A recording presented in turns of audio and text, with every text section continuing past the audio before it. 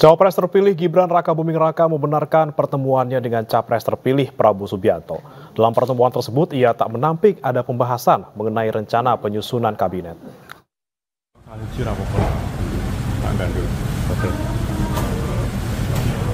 Calon Wakil Presiden Gibran Raka Buming Raka menjawab pertanyaan media dan membenarkan ada pertemuan dengan calon Presiden Prabowo Subianto beberapa waktu lalu.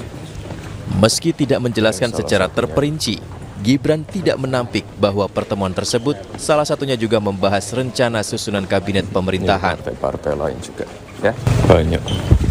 soal kabinet itu Ya salah satunya itu.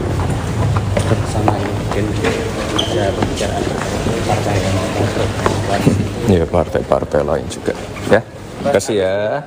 Gibran di koalisi Diinformasikan sebelumnya Gibran telah bertemu Prabowo Subianto usai KPU mengumumkan hasil rekapitulasi suara pemenang Pilpres 2024 pada Jumat 22 November 2024 kemarin. Dari Solo, Jawa Tengah, Septiantoro, iNews melaporkan.